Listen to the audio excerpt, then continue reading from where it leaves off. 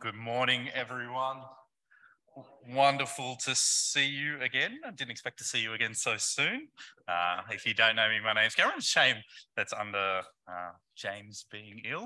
Um, I think the great thing about being here so regularly now, though, is um, I'm going to master driving out of your driveway without scraping the bottom of my car. Because when you come once a year, you forget about that. But a few times in a month, I'm going to remember this time. How about I pray again as we look at God's word? Father, we do thank you for your word, that it is living and active, and we pray as we think through this passage, you will show us who Jesus is and strengthen our faith in him. And we pray for James as well, uh, that he will have a quick, speedy recovery. In Jesus' name, amen. Uh, well, I think it's fair to say uh, that when it comes to those our world considers arrogant, Kanye West has got to be up there at the top. Uh, if you don't know who he is, by the way, he's a rapper, a music producer, uh, used to be married to Kim Kardashian. Uh, and if there was anyone in the world who loved themselves more than Kanye loves himself, I haven't heard of them yet. Uh, I was going through some quotes of his uh, recently, and uh, there's this classic Man, I'm the number one living and breathing rock star. I am Axl Rose, I am Jim Morrison, I am Jimi Hendrix, or elsewhere, he said, I am Warhol, the number one most impactful artist of our generation. I am Shakespeare in the flesh. Indeed, he thinks so highly of himself that he says, uh, I think I do myself a disservice by comparing myself to Steve Jobs and Walt Disney and, and human beings that we've seen before. I mean, uh, who are these mere human beings compared to the greatness that is Kanye? What have they achieved? I mean, after all, I liberate people with my mind, with my music, uh, minds with my music. That's more important than liberating a few people from apartheid or whatever. wow. um, but the good thing about Kanye is he knows that he's not perfect one of my biggest Achilles heels has been my ego. And if I, Kanye West, can remove my ego, I think there's hope for everyone. Uh, inspirationally humble man there. And, you know, it's, it's easy to laugh at um, such massive boasts, laugh at people uh, who say things like this. What I find really interesting, though, is that while uh, most of us would agree uh, that Kanye is at this kind of extreme end of the ego spectrum, people usually see Jesus at the very opposite end as this epitome of humility, the most humble, gracious, tolerant man to have ever existed. And yet, the Jesus of history made some pretty massive claims about himself, about religion, and about you and me. Claims that would be seen as intolerant and condemned if said by anyone else. Claims that I don't think even Kanye would be crazy enough to make. And today, uh, we're going to look at some of those claims from that one small section of John's Gospel, one of the historical biographies of Jesus, uh, John chapter 14. Uh, we're going to look at uh, what Jesus teaches uh, in this passage about himself. I'm going to look at it uh, under three main headings. If you received a heading handout when you came in this morning, ignore that. That was James's from yesterday. Uh, we got the I got the call um, around midday yesterday. It already gone to print. That's what we'll be looking at today. Uh, Jesus makes three big claims uh, that trusting Him means we need not ever worry. Uh, that He is the only way to God, and that He's going to continue to work through us, in us, to accomplish even greater things. Uh, but before we jump into that, let me set the context um, because always got to set the context when you're looking at God's word. And uh, basically, our chapter occurs on the final night before Jesus is about to die. So we're literally uh, the Thursday night before Good Friday. And just moments earlier, minutes earlier, uh, Jesus, in a private meal with his disciples, has told them that he's leaving them. In fact, not just that he's leaving them, but that he's going to die, and that all of them are going to abandon him. They're going to run away. In fact, one of them is even going to be the one who betrays him to death. And understandably, at this point, uh, the disciples they're freaking out. Uh, they they love Jesus. They've left everything to follow Jesus. They've left their homes, their careers, their families, and now it's all over. Uh, must have seemed like a bit of a letdown. So much for our long awaited King and Savior. Uh, did we back the wrong guy? And so, Jesus in our passage, he turns and he comforts them. Uh, the start of verse 1 do not let your hearts be troubled.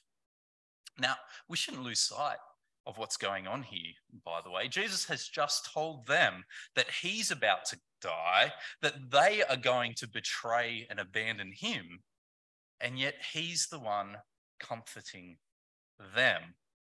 I know we're not super close. I know I'm a, a guest preacher here. But, you know, if I ever came here one day and announced, say, I, I don't know, um, I have, I'm, I'm dying of cancer. I've, I've only got a few days left to live.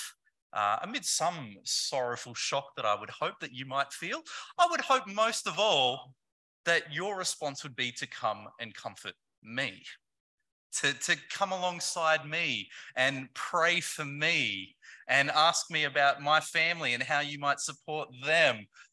I shouldn't be the one up here comforting you, consoling you. I'm, I'm the one dying of cancer. That's, that's not how this relationship works. And yet, the very opposite is happening here. The disciples should have been comforting Jesus, supporting him in the final 24 hours of his life.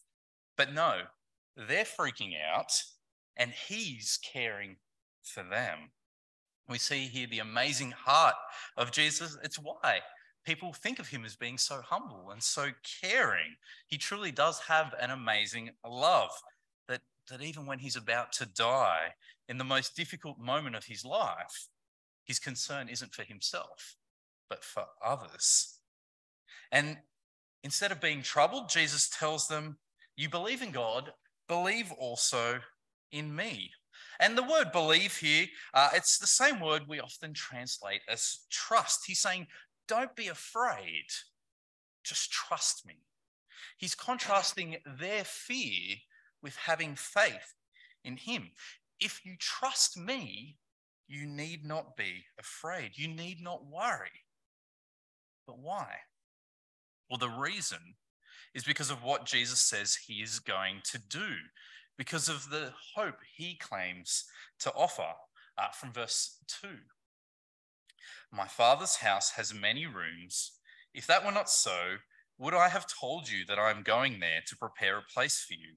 And if I go and prepare a place for you, I will come back and take you to be with me, that you may also be where I am. You know the way to the place where I am going. Jesus here talks about the hope um, and have eternally through him. He talks about his father's house, that is God's house, heaven. That's where he's going. Uh, and he says the reason that he's going there is to prepare a place for them there. And by that, he's not talking about as if he's, you know, up in heaven getting things ready. You know, I've got to do the dusting. I've got to make the beds. You know, I've been down here for a, a while now, 33 odd years. Things have got a bit messy. You know, we're going to have some new guests. I've got to do some renovations, add some extensions. That, that's not what he means when he says, I'm making things ready for you there. No, no, what he's talking about is, is the very reason for his upcoming death. You see, his death is about opening the way there, enabling us to get there, because the way was not yet prepared. You see, the Bible teaches that there's a major barrier that prevents us from entering God's house. It's our sin. And by this, we aren't talking about just doing a few uh, naughty things here or there. By the word sin, the, the Bible's talking about our rejection of God. And it says it's something that we all do, that we're all guilty of us. All of us reject God, whether it's by living an outright life of uh, greed and selfishness, uh, whether it's by worshipping other gods uh, rather than a true and living God, or whether it's just you know, living a comfortable life in Sydney, you know, where we go to work and love our family and, you know, get on with life, but all the while ignoring the God of the universe who made us to know him and love him and be in relationship with him. This is a personal rejection of God. It's, a, it's an act of treason, really, that God can't simply ignore. He, he's a just God, a holy God.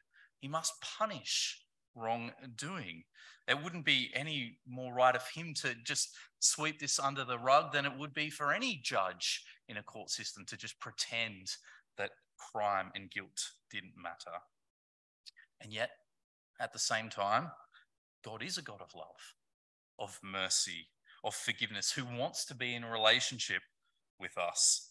And so Jesus' death is about making a way for that to happen.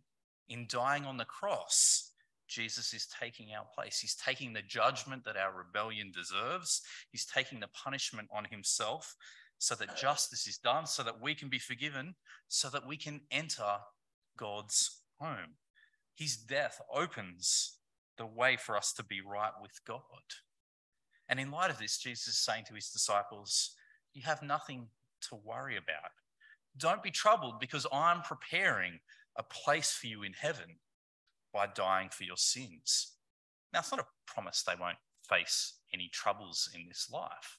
Of course, they will. In fact, they're going to face many more in the years to come. But rather, they needn't be troubled, for God loves them. Jesus has died for them. And they have this amazing hope waiting for them, no matter what they face. And although Jesus was talking to the disciples who were specifically uh, upset about Jesus' impending death, the same logic applies to all of us in all our fears. When we're worried about something, uh, whether it's work or illness or school or even death, Jesus is saying we don't have to be troubled. We can trust him, trust that he loves us, trust that he died for us, trust that no matter what happens to us in this life, that this is not all there is, that we have a home in God's house waiting for us. This is the first thing that Jesus claims about himself. This is what he says he offers to you and I. Now, it's a pretty big first claim to make, and it confuses Jesus' disciples, which brings us to the next section where Jesus makes even bigger claims. He ramps it up even more. Uh, I will read on from verse 5. Thomas said to him, Lord, we don't know where you're going, so how can we know the way? The disciples, they're, they're confused, and Thomas voices their confusion. In verse 4, Jesus said, You know the way to the place that I'm going. Jesus, mate, we don't even know where you're going. So, how can we know the way? They haven't got what Jesus means yet by talking about his father's house, about going to heaven. They're, they're, it's really confusing to them. So, Jesus answers in verse 6 I am the way and the truth and the life. In light of their confusion about how to get to heaven, he's like, Don't worry, guys. You already know the way because you know me. I am the way to heaven. You get there through me because I've died for your sins, because I offer you forgiveness.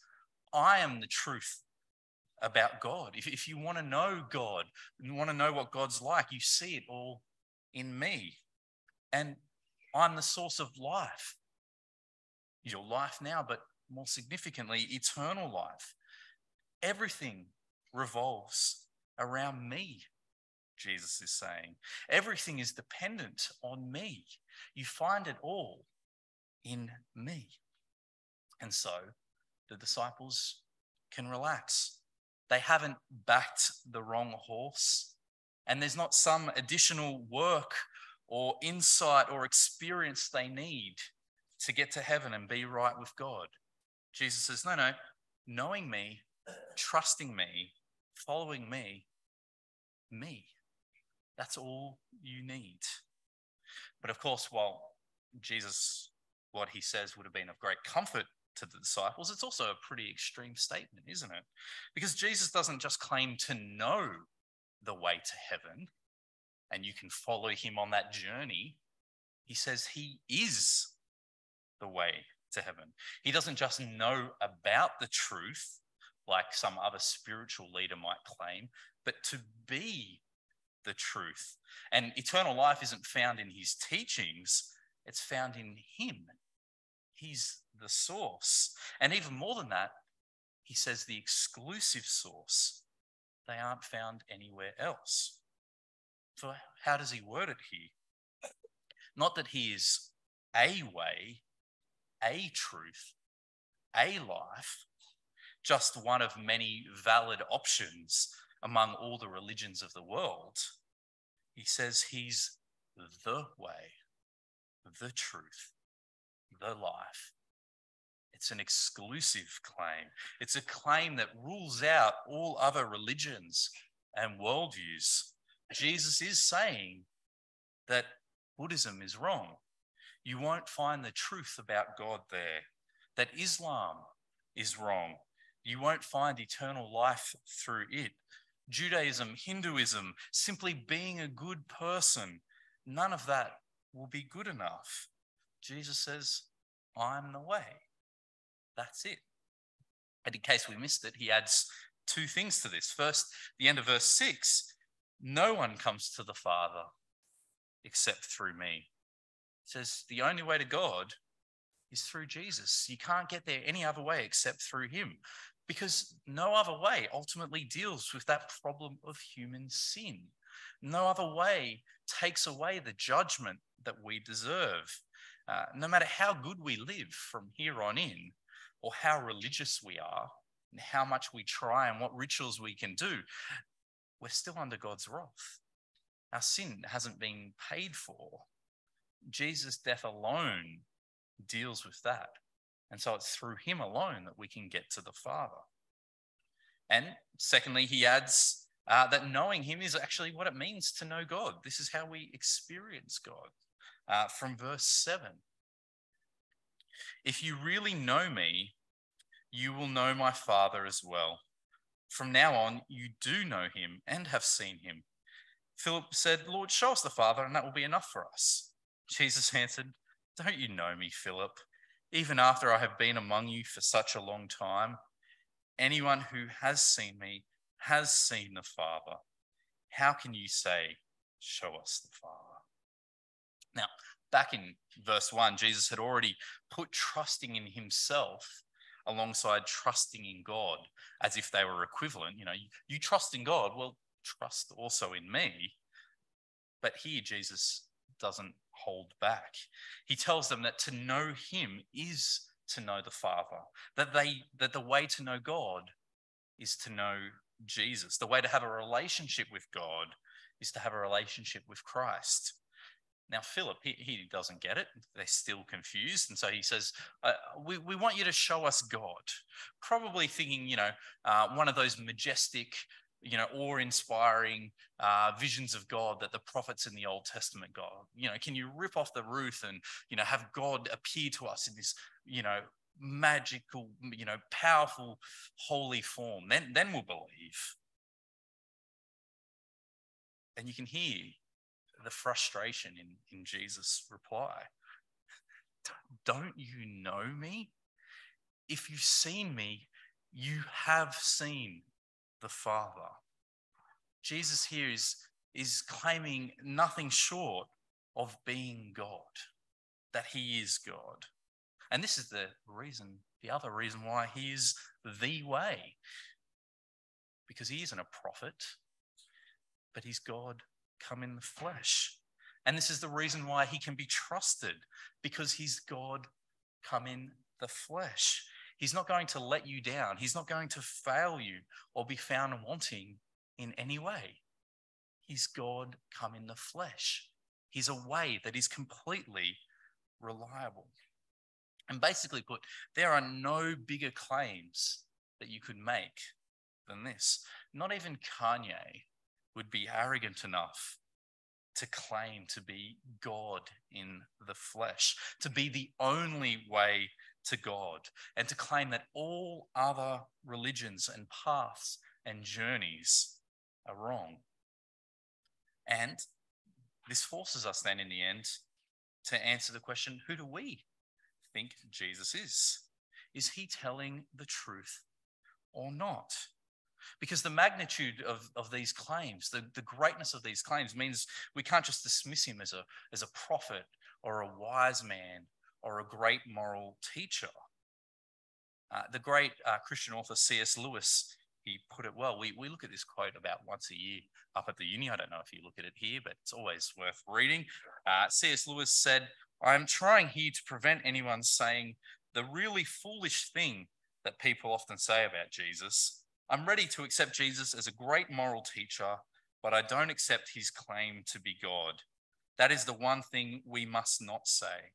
A man who is merely a man and said the sort of things Jesus said would not be a great moral teacher. He would either be a lunatic on the level with the man who says he is a poached egg, or else he would be the devil of hell. You must make your choice.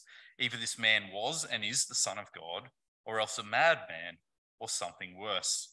You can shut him up for a fool, you can spit at him and kill him as a demon, or you can fall at his feet and call him Lord and God. But let us not come with any patronizing nonsense about his being a great human teacher. He has not left that open to us. Basically, Lewis says when it comes to Jesus' claims, there's only three choices because his claims they're too big, they're too outrageous to dismiss him as merely a great teacher or a wise man or a prophet. He claimed to be God come in the flesh, the one who all people should worship and follow, the one who's the only way. If he's wrong about that and he knows it, well, he's a liar. He's evil. He's blasphemous. He's claiming to be God on earth when he knows he isn't. Or maybe he believes it honestly about himself, but he's wrong. Well, then he's a crazy person. People who walk around thinking that they're the God of the universe generally don't have it all together. Or he's telling the truth. Now, Lewis, he concluded that Jesus doesn't seem like a lunatic, nor does he seem like a liar. And so he was convinced that Jesus really is God. He really is the way, the truth, and the life. And he became a Christian. What decision will you make? What about you? Who do you think he is? That's what his words confront us with. And for those who are already convinced and are following Jesus as Savior, the application for this claim is quite simple. Just stick with him. He's the way, the truth, and the life. Through his death, he's prepared a way to the Father's house where we'll spend all eternity. He has done it all. You haven't backed the wrong horse. So don't be troubled. Stick with him. But you know, uh, as we stick with him, he actually leaves us all with a job to do, uh, which brings us to the final and probably most surprising of the big claims that Jesus makes about himself. And it's one that has to do with us specifically. Uh, we'll read on just the start of verse 12 to begin. Very truly, I tell you, whoever believes in me will do the works I have been doing.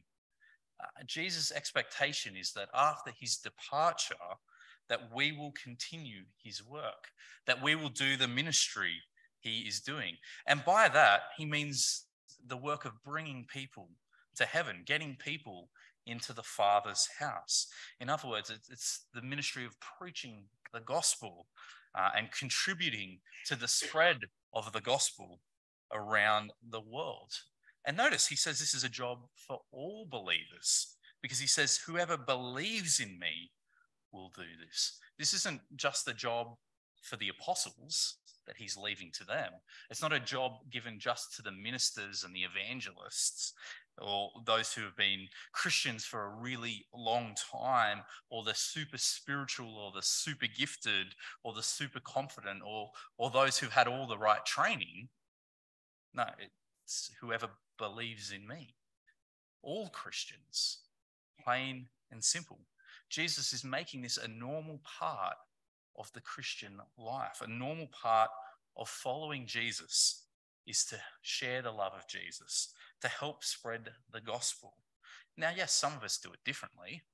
Not all of us are going to become full-time paid church workers or or leave our homes and go off to the mission field somewhere all of us should be part of that work whether we're on the front ground you know or whether we're behind the scenes giving and praying and encouraging we're all part of that work but wherever we go wherever we are we're all called to be part of this work as a church collectively praying giving inviting reaching out individually, praying for our neighbors, inviting them along to things, trying to have conversations with people at work. Jesus says, I'm, I'm leaving you here to keep doing my work. And amazingly, in, in verse 12, Jesus actually says, Our ministry is going to be greater than his. Let me read it all again this time. Very truly, I tell you, Whoever believes in me will do the works I have been doing, and they will do even greater things than these, because I am going to the Father. Do greater things than Jesus. I don't know about you. I haven't raised anyone from the dead recently.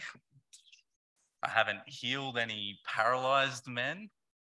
I haven't even turned water to wine, not even through one of those home winemaking kits. I don't even have that level of skill. What's Jesus talking about? What can he mean? Well, Jesus isn't talking about doing miracles, that we'll do greater miracles than him. As we've said, what he's talking about here is this ministry of leading people to heaven, of bringing people to God. And Jesus is saying that we can do that in a way greater than him. Now, in one sense, obviously, we can't. You know, I can't die for the sins of the world. I can't pay to make someone right with God. I can't change someone's heart or anything like that. Uh, that's not what's going on. But there are a couple of ways in which our ministry now is even greater than Jesus' ministry on earth. First, simply we can reach more people. After all, Jesus' ministry was limited to only Judea. And by the time of his death, his followers numbered maybe a few hundred, if that. But since Christ has died, well, the gospel spread all around the world, hasn't it? To millions, to, to billions for a couple of thousand years. Here we are, 2,000 years later, on the other side of the planet. The scope of our ministry and the amount saved far exceeds anything uh, that Jesus accomplished in his life. That's part of what we're contributing to. But I think it's even more than that because of the final part of that verse there. Jesus says, We will do even greater things than these because he is going to the Father, because he will die and rise and ascend to heaven. How does that affect our ministry? Well, it changes everything. It means that the news that we offer is fundamentally better than what Jesus was able to offer during his ministry because we can now declare that it is already accomplished. You see, during the lifetime of Jesus, all his preaching, all the good news, all the hope that he offered was, an, was in anticipation of what he was going to do on the cross. But it hadn't yet been fulfilled. But once Jesus goes to the Father, everything has changed. Jesus has now died for sins. Jesus has now paid our penalty. Death has now been conquered. Jesus is reigning seated at the right hand of the Father. The Spirit of God has been poured out and is convicting people as we go out there to preach the word.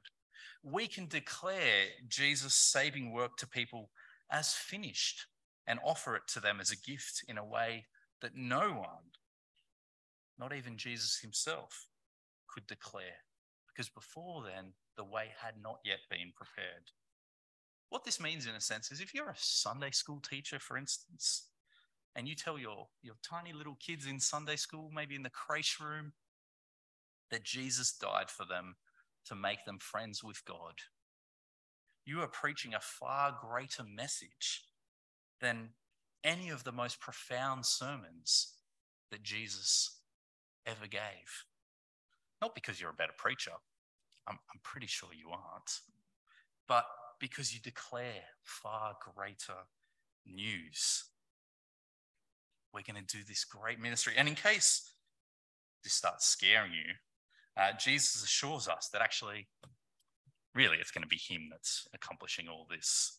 Uh, from verse 13, our final verses. And I will do whatever you ask in my name, so that the Father may be glorified in the Son. You may ask me for anything in my name, and I will do it. Now, this is a verse that's very easy uh, to misunderstand out of context. It's one of those verses that sounds like Jesus is saying, you know, I'm just going to give you anything you ask. You ask me for a Ferrari, you can have a Ferrari. If you ask for someone to be cured, you're going to get cured. That's that's what I'm promising you here. Uh, and indeed, unfortunately, many Christians have misinterpreted this and taught all sorts of horrible errors uh, because of verses like this. But that's not what Jesus means, because in the context, you've always got to go back to the context. Jesus is specifically talking about continuing his work, about preaching the gospel. So it it's, has nothing to do with whatever you ask God, it's only ministry related for a start. It's already narrowed down to that. And I don't think he's even saying anything you ask for about ministry, I will give you. You know, if you ask God to convert 50 people tomorrow because of your preaching, I'm going to convert 50 people tomorrow. Uh, if you want a million dollars for a new building in two days, you'll get a million dollars for a new building. That's that's not what he's saying. You can ask God for those things. Might say yes, might say no.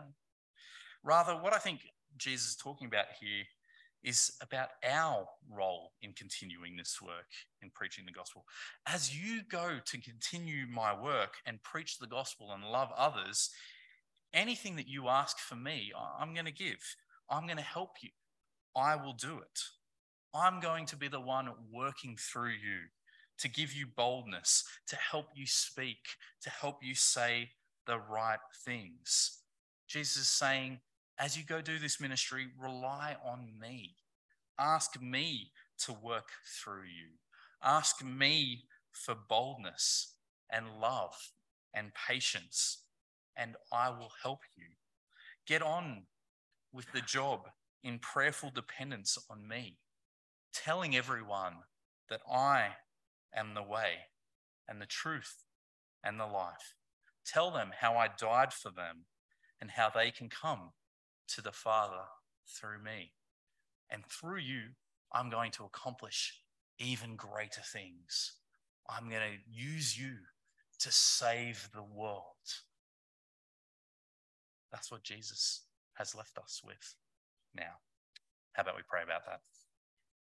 Father, we do thank you for Jesus, that he is the way, the truth, and the life, that through his death we can be right with you,